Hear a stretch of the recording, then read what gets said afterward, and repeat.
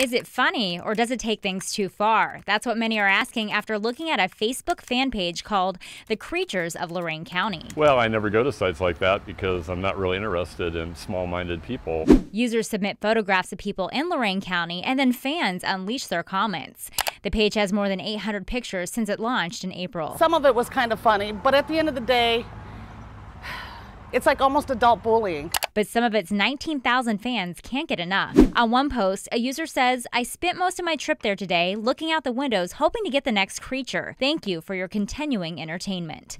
A Fox 8 viewer recently contacted us when a relative was featured on the web page and her relative happens to be mentally handicapped. Now that family did not want to go on camera. I spoke to the Creatures of Lorain County founder Amy Clark on the phone.